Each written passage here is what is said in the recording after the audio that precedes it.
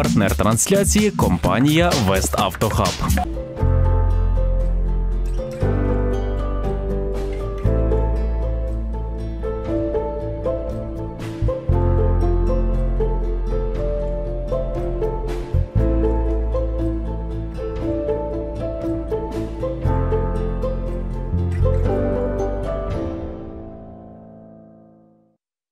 Вітаю, ви дивитесь духовну абетку. Мене звуть Марія Вавренюк. Сьогодні говоримо про поминальні дні після Великодня. Разом зі мною сьогодні капелан, декан Михайлівського округу Волинської єпархії ПЦУ Микола Царик. Вітаю вас і Христос Воскрес. Воістину воскрес. Отже, Миколо, хочу сьогодні поговорити про те, у чому суть взагалі саме великодніх поминань і чим вони відрізняються від усіх інших поминальних днів у році, які ми маємо. Згідно церковного уставу, кожна субота є поминальна і відповідно є особливі суботи, це коли загальнопоминальні, родительські. І цей тиждень, зокрема, у східний слов'ян е, називався Радонця. І це був певний цикл весняних свят. І особливо в цей час християнство показує на, на прикладі того, що здійснюються ці служби, і показує Воскресіння наяву як такою. Що слід е, знати вірянам про е, ще що слід знати про саме цей день? Як готуватися до нього? Ну, цей день розпочинається із е, правильності написання записки за упокій, тому що це важливо. Це перше, на що слід звернути увагу, тому що багато пишуть так, відповідно, як вдома там написали, і кількість, е, прави- кількість і правильність імен залежить від людини, яка подає цю записку. Досить важливо в родовому відмінку зазначати, е, бо закінчення е, досить велику, е, великий аспект грає. Там, наприклад, Зіновії, Зіновія, Валентини, Валентина це чоловік, відповідно, жінка. І це досить важливо написати правильну записку. Ну, все розпочинається з молитви у храмі, і відповідно традиційно е, в різні дні, відповідно, як традиція говорить, е, звершується молитва вже безпосередньо на цвинтарях. В кожної парафії є свій поминальний день, коли от вирішать в селі, наприклад, чи є якийсь озагальнений час? Так, це більш традиційно відповідно до того, що е, є велика кількість е, в родині людей, яких, е, яких вже немає біля нас, але вони в різних місцях поховані. І відповідно для того, щоб встигнути максимально скрізь здійснити молитву, то є ось на третій день, на в четвер, там, в п'ятницю, відповідно, традиційна субота і неділя, відповідно, цілий тиждень. Е, Знаємо, що на кладовищі священник передусім окроплює могили. Е, Скажіть, як е, це важливо, і чи, от, наприклад, буде проблемою, якщо в цей день не окропити могилу? Ну, важливо дотримуватися все те, що є в храмі і є як традиція церковна. Це є важливо, тому що ми, в силу певних обставин сьогодні, дозволяємо собі в думках, а що ж буде? Ну та нічого не буде, але ця увага, яку ви приділяєте, в цьому і заключається здійснити все так, знайти цей час для тих людей, яких ви любите і не перестаєте любити. А що несе в собі це окроплення? Ну, якщо більш так детальніше, якщо говорити про саму суть, е, перше це є пісний спів Христос Воскрес. Згодом поминання померлих і окроплення освяченою водою. Відповідно, це від початку до кінця так зробити правильно слід. А як люди роблять, відповідно, як е, собі там вирішать, так і роблять. Чи запрошують священника, чи ні, е, чи здійснюють молитви, не мають часу десь по роботах, десь далеко. Головне, щоб е, здійснилася молитва насамперед в храмі, щоб була подана записка на літургію, тобто на службу Божу. Це правильно. А як власне самій людині правильно помолитися в цей день і в храмі, і біля могили? Тому що не всі знають, як це зробити. Ну, зрозуміло, е, це зробити правильно. Насамперед потрібно. У нас є вечірнє і раннє молитовне правило. Ми згадуємо там і за здоров'я, і за упокій своїх рідних. З того слід розпочати. А далі невід'ємною складовою є церква в цілому, як е, інституція, яка здійснює оцю молитву загальну за померлих. Отже, Микола, вже тривалий час церква закликає людей не нести е, штучних квітів. Е, Не знаю, як де, але от переважно зустрічаю саме, е, саме таку позицію. Але попри це досі є чимало точок, де їх продають, особливо активізується це перед проводами. Яка ваша позиція от в цьому плані? Ну, моя позиція досить категорична. Я стараюся людям донести і інформативну складову, і показати людям, що ми маємо зберегти чисту планету. Бо відповідно до статистики, в середньому міське кладовище, ну таке більш-менш статистичне, це 45 тонн сміття. Відповідно, оцих пластмасових вінків і так далі. Церква закликає нести живі квіти. І в цьому є суть, тому що живі квіти вони не несуть так, такої шкоди екологі, е- е- екологічній ситуації. І в цьому і проблема пояснити людям. Звісно, це треба структуризувати. Ми не можемо зразу все це ну, переламати, відповідно, там, заборонити і все. Спочатку треба говорити про зменшення використання е, цих пластмасових квіток і так, і так далі. От. І відповідно йти до взагалі цілковитого обмеження. Це на мою думку, так. Тому що ми маємо передати своїм дітям чисту планету, чисті річки, озера, криниці. Нам, нам потрібно здорове суспільство і здорові діти. А що зараз спостерігаєте ви от в своєму районі? Чи зменшилася кількість штучних? Ну, на прохання священнослужителя є зміни, є зміни, тому що це пояснюється неодноразово і попередні, як тільки розпочатий піст, ведуться особисті бесіди не лише про квіти, але і викидання сміття також в цілому. Бо є велика на сьогодні у нас така пересторога, що бабіч дороги е, все скидається на відведені місця, і це навіть комунальною технікою не можна вивезти, щоб упорядкувати місце, в якому, на якому здійснюється молитва за померлих. Вони є для нас живі у наших душах і серцях. Я пригадую, коли ще була маленькою, ми ходили на кладовище на проводи, і тоді всюди були і штучні квіти, і вінки. Ну набагато більше цього було. От, тобто можна зробити такий висновок, що церква ну відносно нещодавно почала таку, таку позицію провадити. Ну так, ви зрозумієте, в плані цінової навіть політики жива квітка і квітка пластмасова, вона, пластмасова, вона відрізняється в ціновій політиці, і можливо це спонукає людей до того, щоб на сьогодні ну, все-таки звертатися до тієї проблеми, яку ми бачимо в цілому, придбати знов дешевше пластмасові квіти, а ще так робили мої дідусі, бабусі традиційно. А я як можу я це порушити? Це слід е, ну, навчати на парафіях кожному священнику. І ну, тенденції для покращення є, і ми це бачимо і відчуваємо. Це чудово. А якщо от е, з точки зору того, хто там похоронений, чи має значення, є там квітка, чи немає, чи жива вона, чи мертва? Ну, зрозумійте, якщо дивитися по історичній складові в Римській імперії, несені на квіти, е, квіти були основні троянди, які приносили. Приносили на могили тих, які відійшли у вічність. О, це історично. Вже більш в радянський час ми бачимо ну, асоціація із гвоздикою.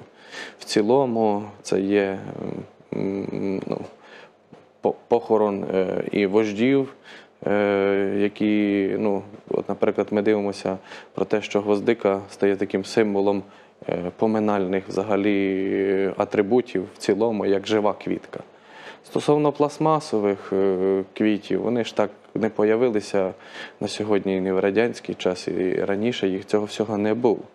Вже, вже із розвитком е, людини, е, науково-технічної революції, можна так сказати, е, з'явилися от пластмасові ці квіти, які сьогодні є екологічним лихом для суспільства і для планети в цілому.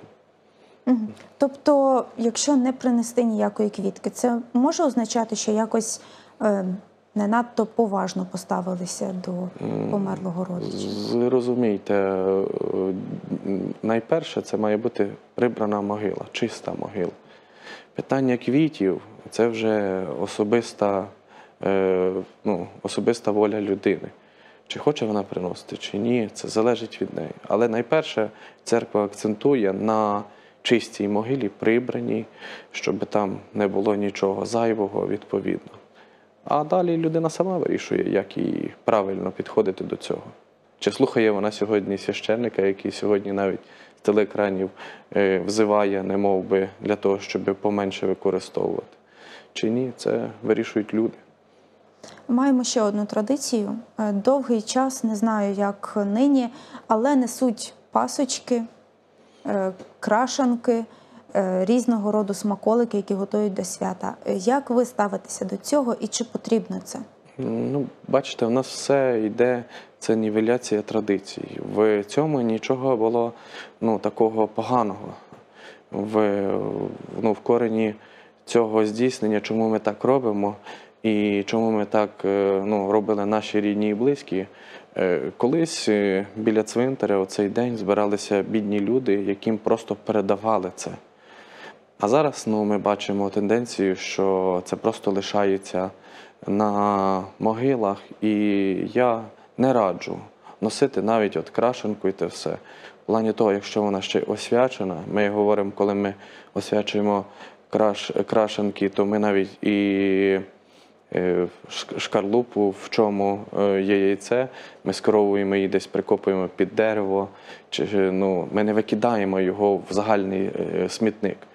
А тут ми говоримо про те, що залишити там яйце чи паску освячену в цілому. Це призводить до одного, е, до того, що могили розривають пси. От, і ну, зрозуміло, що це негативно. На сьогодні складається в тому баченні, що е, я забороняю і стараюся так само пояснити людям, чому ми так робили, і що сьогодні слід змінити традицію е, в цілому, тому що якщо хочете допомогти людям, є в нас нужденні, ми можемо їм це все передати. Я от раніше ще чула таке пояснення, що от е, ці дари це для покійників, щоб вони теж посмакували ось цими великодніми смаколиками. Чи є в цьому якась Ні, ні, ні. Це розумієте, людський фактор, який не має там змісту е, богословського в цілому, тому що е, молитва, яку потребують померлі, це все, що їм потрібно. І вони її відчувають через церкву, через людину, яка особисто молиться. Ось те, що потрібно. А це все, розумієте, дуже багато що говорять люди, які ну, от тебе щось знають і так передають в уста в уста. Це не є так, такою значимою ситуацією в цілому. От е, скажіть, що отче Микола, чи треба свічку лишати там на могилі? От іноді запалюють. Ну, свічку там можна запалити в плані того. Я ще раз кажу, е, все те, що ми приносили, ми повинні забрати. Тому що я говорив про те, що розривають пси, могили. е, Ну, там, наприклад, якщо це ваша могила, це так ми можемо прибрати, ми на місці. А є люди, які е, приїхали здалека, прибрали могили і не часто так навідуються. Приїжджаючи через місяць, через два, вони бачать ситуацію, яка е, ну, їх бентежить зсередини, що е, ми прибрали, але зробили так традиційно, відповідно. А от і така трапилася ситуація. І людина бентежиться через це, вже шукає якогось повір'я для того, щоб це пояснити. А якщо мова йде про електронну свічку, чи можна її, наприклад, лишити? Ну, ми сьогодні всі гаджетовані, і на сьогодні молодь іде вперед, і електронні свічки у нас і пішло далі в електронній системі, відповідно, і в електронних приладах сьогодення ми потребуємо більше цифрови- цифрових приладів. От, е, ну, як на мене, цінність в тому, найперше це молитва. Там чи цифрова свічка, чи куди ми дійдемо з прогресом. Звісно, хотілося, щоб це була традиційна запалена свічка, яка є куплена в церкві, і отак здійснено правильно. Так би хотілося. От одне з найпошир... найпоширеніших, що також роблять, коли прийшли на могилу, е, цілують пам'ятник. Чи треба це робити? Ну так, це вияв пошани, вияв пошани е, тій людині. Так е, традиційно є, так ми приходимо.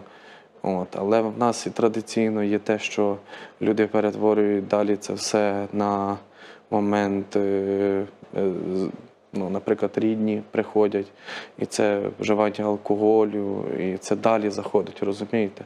Є традиція, яка не суперечить, а є традиції, які потрібно, ну, як я говорив, по-русски це пам'янути е, на могилі. І ми цей звичай перейняли, і ми маємо сьогодні, як ніколи, відринути від е, цих поминків е, вживання алкоголю на місцях, де упокоюються рідні. Тобто це не українське. Ні, ні. Традиційно українці вони відрізняються і етимологічно, і своїми етапами державотворення від Російської імперії в цілому, е, від Московського царства. І оці наративи, які нав'язані нам на сьогодні, ну, частково ми сприймаємо їх. Є люди, які це ви- використовують і дотепер, але завдання священника пояснити, що це є неправильно. Можливо, у вас є інформація, чи є на Росії от такі традиції? Є, є, це досить е, е, і ставлять е, на рахунок того алкоголь ще хліби, хлібину, кусочок, шматочок. От в плані того є різні традиції, але церква говорить про те, що має бути молитва і зосереджує людину в цьому напрямку. Ви ще згадували за записки, а от е, ще такий нюанс: до якого коліна слід писати померлих родичів, чи Ну. писати всіх, кого знаєш? І, ну, якщо дивитися так само в історичну складову пам'янника, він передавався, е, не мов би як реліквія сімейна. І в тому я говорю про те, що ми, якщо правильно напишемо в пам'яннику, ми можемо передати. А коли написані такі імена, коли священик стоїть і не може вимовити їх, то як е, можуть знати рідні і близькі родину, як звали там дідуся, бабусю, якщо вона навіть неправильно написана, як ми можемо пом'янути ту людину? Якщо ну, є різні пом'янники е, по складовій своїй, є хтось пише записку, є пом'янники, які там майже заповнені. Бо це... Це такі маленькі книжки. Так, так, так. Там зазначається правильність написання імен відповідно до того, як церква бачить це. Як я говорив, вже повторю ще родовий відмінок і оці аспекти, на яких я зазначав увагу відповідно. Отже, Микола, найважчими ці поминальні дні будуть для тих, хто нині втратив на війні своїх рідних. Як ці дні провести таким людям? Ну, звісно, тільки з Богом ця людина має оце, цей спокій внутрішній. І я завжди наголошую про те, що ті, які відійшли від нас, е, покликав Господь їх до свого, е, до свого лона. На сьогодні вони живі для нас у наших серцях. Вічна пам'ять їй пояснюється, тому що вона передається з роду і в рід, і немає більшої любові, ніж е, людина віддала свою душу за ближніх своїх. Вони є живі, і підтримка, да, це свіжі рани, це молоді хлопці, це матері, і дуже важко бачити, е, бачити ті е, могили, де ти недавно, е, ну, наприклад, проважав останню дорогу молодих хлопців, і не тільки ти. Ціле село і не одне село сходиться на то для того, щоб віддати шану героям. Я підтримую матерів, я стараюся е, Ну, що ви їм кажете? Ну, я м, говорю про те, що ви виховали достойних синів, і їхній подвиг не буде забутий не одним поколінням, нашим поколінням і нашими дітьми. Я говорю про навчання в школах. Правильно, зараз є і велика кількість шкіл. Е, ну, наприклад, якщо навчався солдат там, вони відкривають меморіальні дошки, запрошують священників. Це ми маємо говорити і маємо пам'ятати завжди і завжди підтримувати тих матерів, які лишилися в такому горі, але це не їхнє горе, це горе цілої країни і кожного свідомого українця. Як вам, як священнику, знайти ось ці сили, знайти потрібні слова? Ви ж хороните людей, і яких знали, і вам також боляче. Е, Як ви це робите? Ну, найважче це е, дивитися в очі матері. От, бо вона, ти дивишся в ті очі, і е, ти не бачиш е, оці, цієї болі, це просто крик душі. І оцією молитвою, яку е, здійснює священник, він підтримує ту і матір, і родину. Важко матері, і важко так само і молодим священникам, які сьогодні у нас на парафіях, е, морально, але ми говоримо про важкість священників.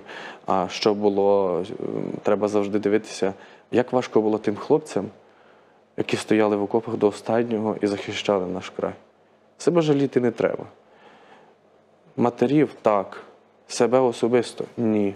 Тому що ми здійснюємо відповідно до канонів церкви, а пам'ятаючи цей обов'язок, що ці хлопці віддали найдорожче це своє життя, це ну, такий, має таку силу, силу внутрішнього себе, що ти дійсно проважаєш в останню дорогу героя України. Знаю, що часто рідні загиблих ходять ну, після похорону на могилу щодня. Дуже Так. довгий період. Е, Як ви це поясните?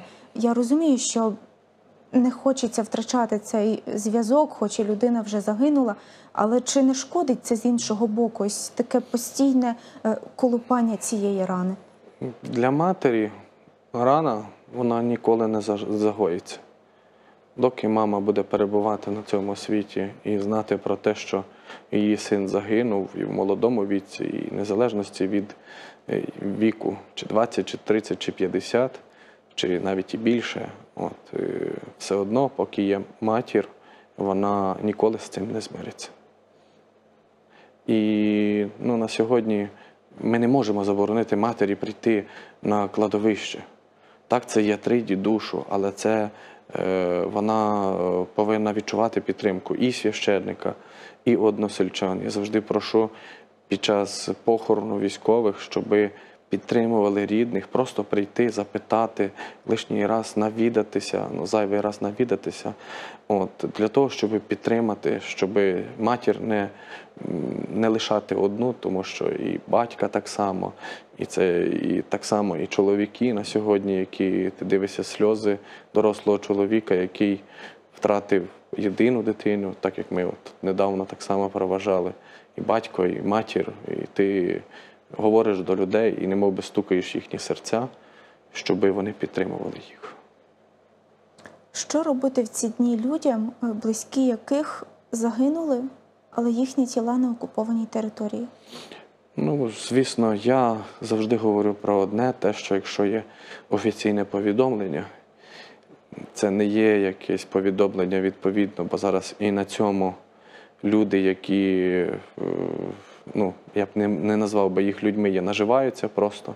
Ми привеземо вашу дитину за е, певну суму, їй такі сьогодні.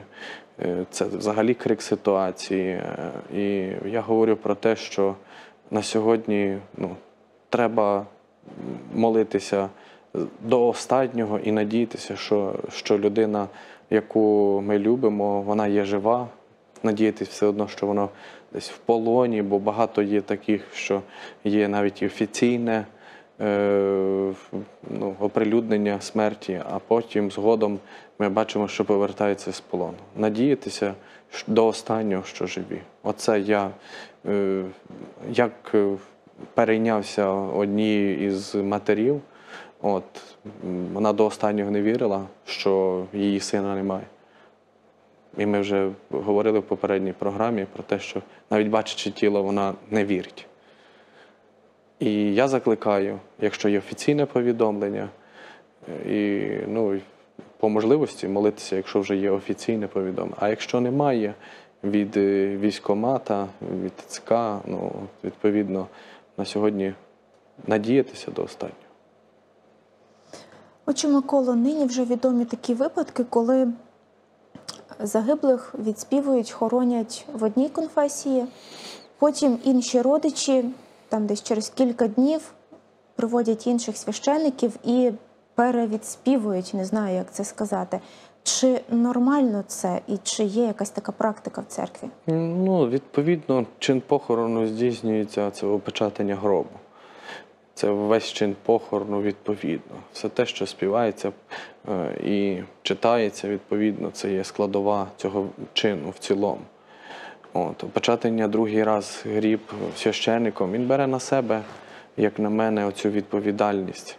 Відповідальність, яку він, можливо, не бачить. Е, Відповідно, є церковні канони, які забороняють це робити. Але до чого ми тільки сьогодні не доходимо, тому що оці крайнощі родини, які не знають, що, а оцих багато порадників ліворуч і праворуч в тій кричущій ситуації от спонукають до, можливо, до таких от е, неправильних дій в цілому. А ви стикалися з такими ситуаціями? Так, так, в нас було і в місті, зокрема, але це і всі люди знають. Але ну, ти ж назад не повернеш, і людині, тим паче, в якій е, в родині, якій померла людина, ти не поясниш її, коли ще свіжа рана. Можливо, це прийде згодом. Але добре, щоб воно прийшло саме до людини, що вона здійснила це неправильно. Не раз чула від людей, що в храмах УПЦ МП е, не моляться за наших захисників. Е, Що ви скажете про це? Там відмовляються відспівувати так само, чи е, проводити чин е, похорону в храмі саме.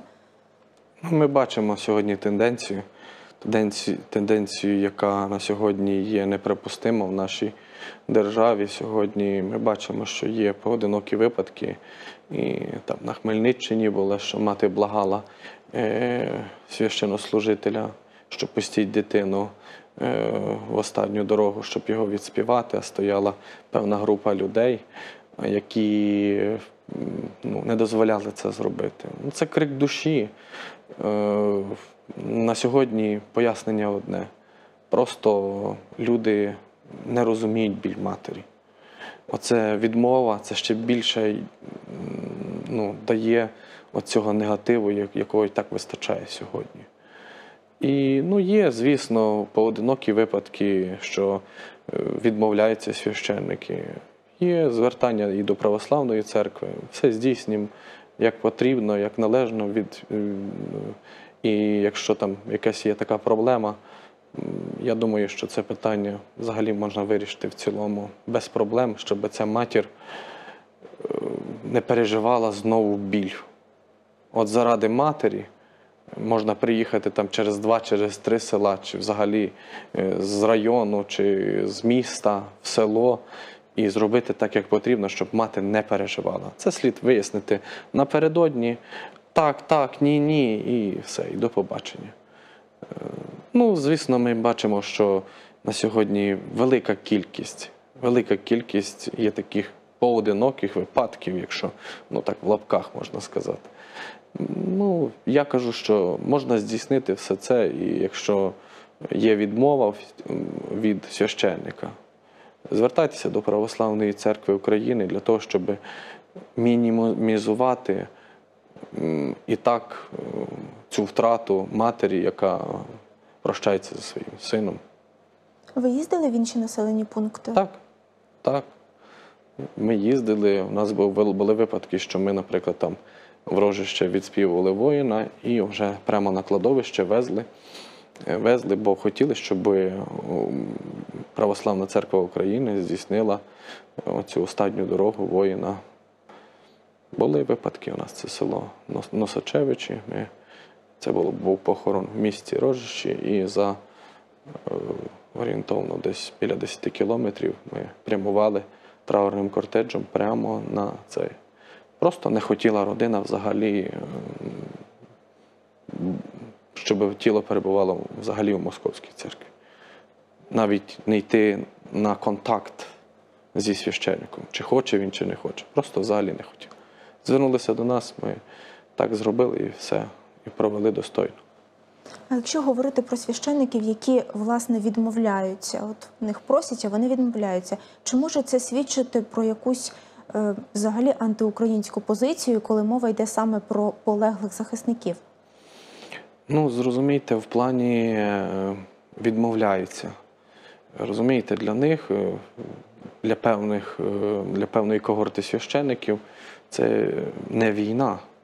Це там, як вони тільки її не називають сьогодні, як вони тільки не уникають відповіді в тому плані, щоб нівелювати це поняття. Бо якщо вони називають на сьогодні це дійсно, то вони визнають і агресора, хто благословляє, хто на сьогодні вбиває українців. Є просто уникають відповіді і все. Не знаю навіть, як описати таку позицію. Напевно, треба, щоб цими людьми зайнялись відповідні служби. Так, я думаю, що цей час настане. Ми вже бачимо поодинокі випадки. І бачимо підтвердження і не одне, що це церква, яка в цілому не є українська, і так як вона себе називає, на сьогодні це неприпустимо. Е, Якщо говорити на тему от поминального тижня, е, часто саме на Великдень освячують е, пам'ятник, який ставлять на могилі. Чи є, от хочу запитати про те, чи є якийсь певний правильний час, от коли людина померла, коли треба ставити пам'ятник? Ну, відповідно до традиції, священник не може заборонити там е, в плані там, опісля 40-го дня, чи там як люди собі вирішили. Просто люди вже знають, що до року, е, так як традиційно, ніхто нічого не робить із е, пам'ятником, тому що це всідається земля, осувається. І відповідно для того, щоб була міцна конструкція пам'ятного знаку, слід це робити опісля року. Ну, такі рекомендації всі знають. Це не тільки священики, але і люди, які неодноразово мали ставити пам'ятники і чули таке. Це правильно, тому що це свідчить про те, що буде міцна основа, земля вже потихеньку за рік часу вона е, ну, більш-менш всядеться. І для того, щоб е, була міцна конструкція пам'ятного знаку, слід це робити ну, не менше як рік. Ось цей чин освячення, що він являє, от саме пам'ятник. Е, Найперше е, освячується от в молитві значення освячення хресного знамення. Бо пам'ятник як такий, якщо він не має хресного знамення, знамення перемоги, яке е, пропагує і християнство в цілому, бо і священник е, проповідує Христа розіп'ятого, і кожен християнин, який носить на собі натільний хрестик. Без хресного знамення це є ну, культова споруда якась. Е, В плані того вимагається одне. Перше освячується е, хресне знамення, а згодом освячується надгробний камінь. Відповідно, для того, щоб ну, здійснити це правильно відповідно до канонів. Е, Нині маємо часто так- таку ситуацію, що там кладовище вже закінчується, немає вільного місця. Е, Якщо в цьому плані говорити про кремацію, як ви ставитесь до такого? Ну, ми знаємо, що наші кладовища всі перебувають в комунальній власності. І комунальна власність е, ну, дає, наприклад, там, згоду там, на поховання на землі, відповідно, де є відведено. Кремація, ну, вона присутня, в нас так вона не традиційно, але е, особливо в час ковіду були різні нюанси, і родичі, які, наприклад, е, були за кордоном, багато хто повертався вже ну, відповідно кремований. Згодом це вложили все одно в гріб і здійснювали так, як традиційно. Просто це все було закрито, ніхто ну, вже відповідно не прощався в останнє. Цілування не було. Тобто це не заборонено. Це не заборонено. Ще от е, часто чула таке, що кажуть, е, людина, якщо помирає саме на Великдень, то вона обов'язково попаде в рай. Я не знаю, просто часто таке чула. Поясніть. Ну, бачите, в нас далі, я вам скажу ще більше. Е, Люди в нас нас- наскільки підковані, що вони говорять навіть про те, що навіть не, не проходить метарства. Відповідно, час в християнстві не є складовою благочестивого життя. Лише Господь вирішує, куди людина за свої вчинки, за свої добрі чи навпаки е, справи, де вона буде перебувати. Оце е, ну, припущення, яке допускають люди, ну це можливо виправдання, часткове виправдання там, людини, яка, можливо, там десь жила неправильно, і от, а от якщо ось померла, це взагалі. Ніхто на сьогодні не знає волю Божу в цілому, і тільки Господь це вирішує, де людина перебуває. І Господь має оцю владу судити.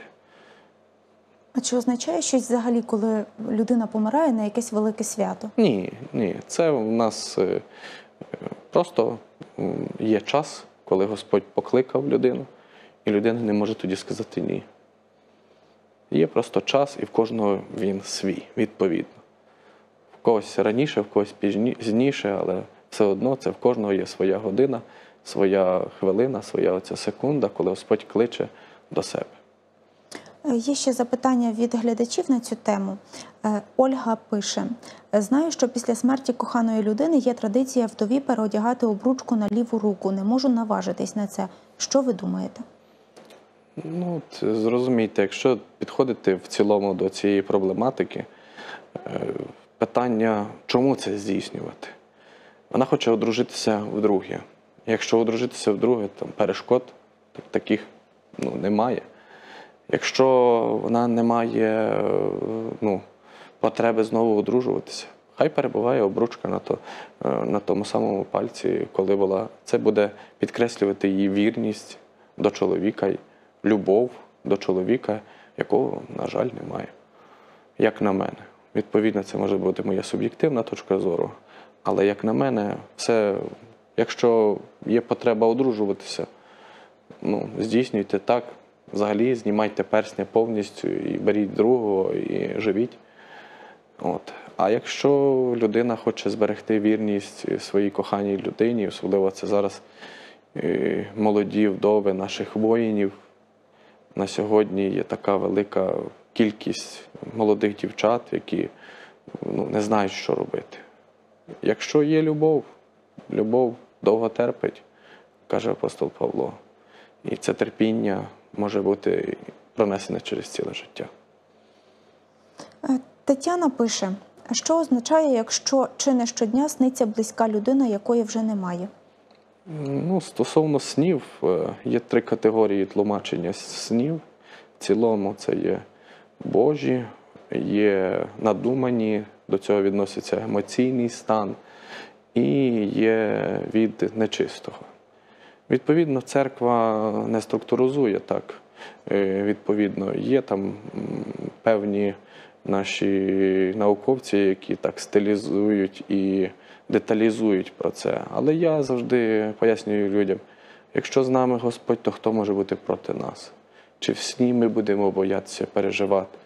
Якщо людина все здійснює правильно, якщо людина молиться за тих людей, які відійшли у вічність, якщо вона приходить до храму, приносить цю записку, як я говорю, правильну записку, особливо написано правильну записку, я думаю, що боятися нічого.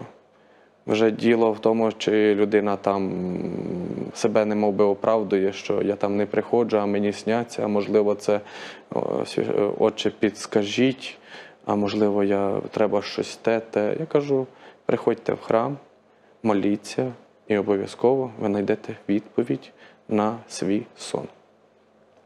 І ще запитання від е, Вікторії.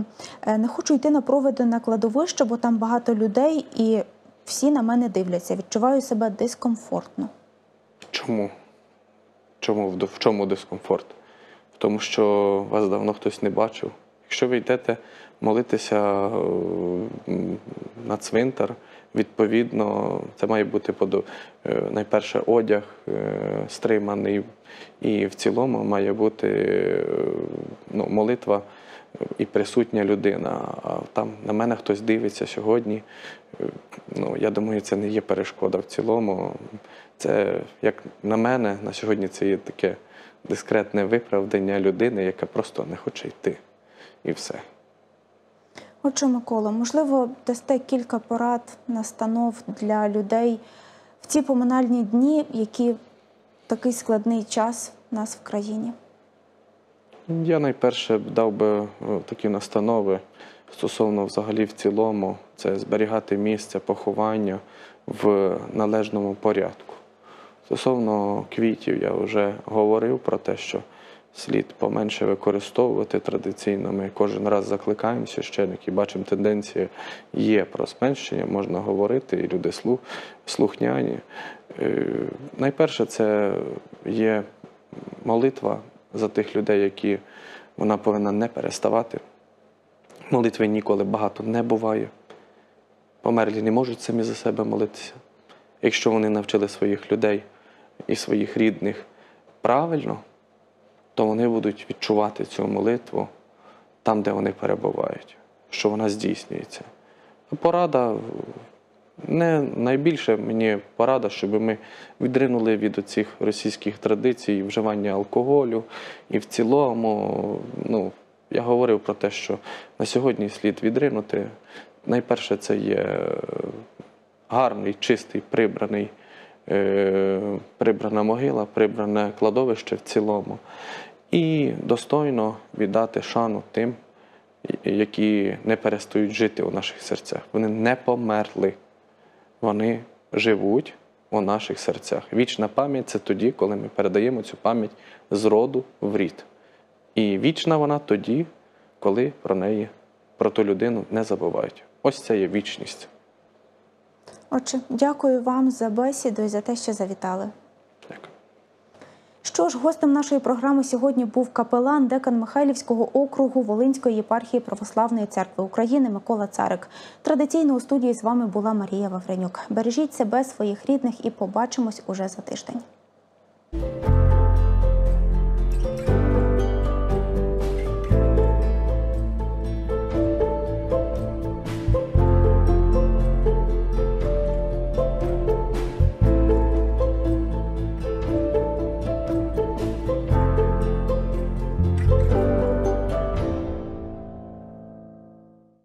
Партнер трансляції компанія Вест Автохаб.